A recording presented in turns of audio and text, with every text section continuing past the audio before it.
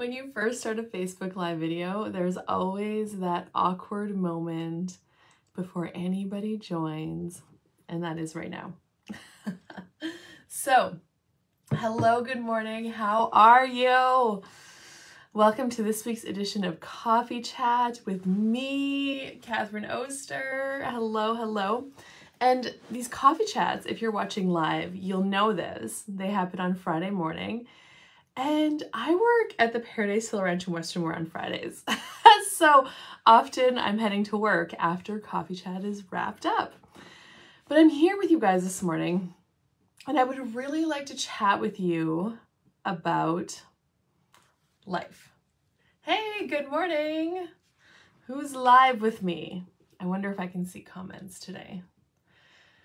So anyway, um, my husband and I, we have a small herd of cattle, about 45 head, and we're calving right now. So there's lots of babies out there. Good morning, Shauna. And uh, it's really interesting to watch them. So they are, they start to like, so every day we feed the cows hay and you can watch the babies and they're starting to like pick at the hay and they're not really eating it, but they're like mouthing it. They're like copying their moms. Good morning, Robert.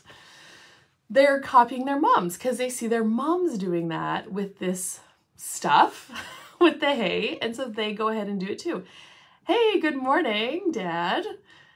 And then you start to see the little calves like fight, like kind of how the moms will do. They'll push each other around and they'll get a little bit rowdy and they'll try to figure out who's the boss.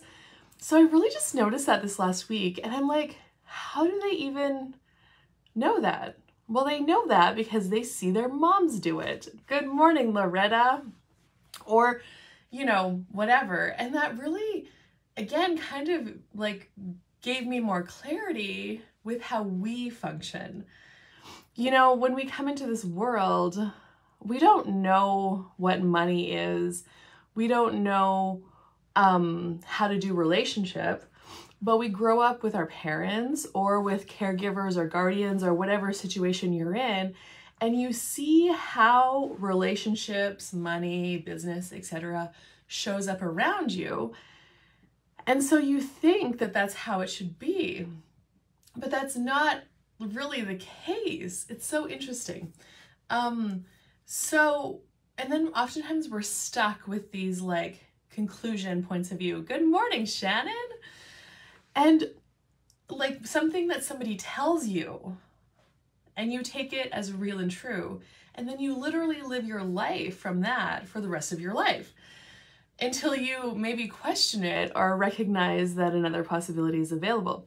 One of the things that I recall for myself, I remember when I was in high school and um, this fellow said to me, you know, we were getting ready for graduation and and I just remember them commenting and the comment was, well, you better enjoy your time in high school because these are the best days of your life.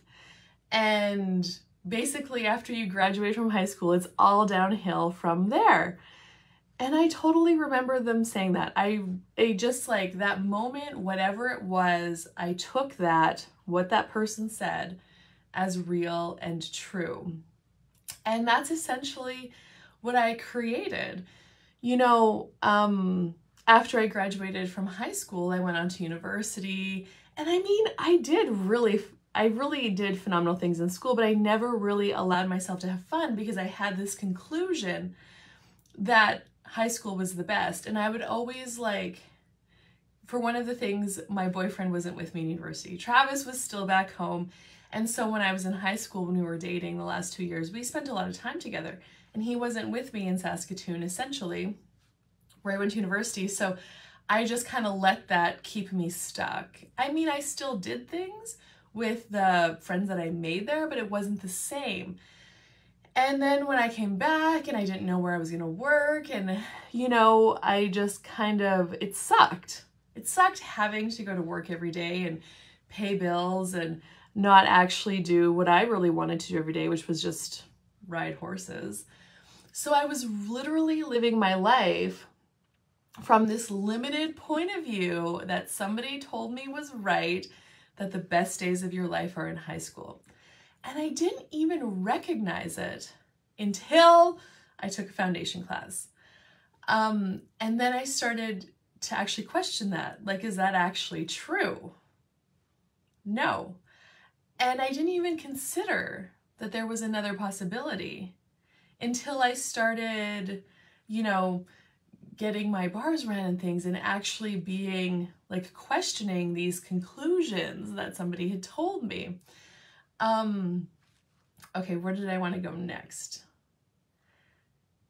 Yeah, so I had, so then I, okay, so sorry, there was a bit of a gap there uh, in my life story. then after I had a son, so I had like everything that you, sh- all the ingredients, I had all the ingredients for the perfect life. I had a husband, I had a job, I had a kid, and I was not happy at all. Like literally, and I was so frustrated and I didn't understand it. Well, what was really true, what where all those feelings were really coming from is that I was living from somebody else's limited point of view that somebody told me was right. And it just like struck me. I'm like, why wouldn't I live my life as greater every single day?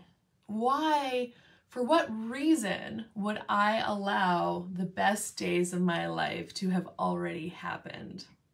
That is actually pretty depressing. and um, so I had this also, all, you know, the popular thing, like it sucks being a grown up, it sucks having all the responsibilities, it sucks paying the bills, blah, blah, blah. And I'm like, but actually, what if everything is the opposite of what it appears to be?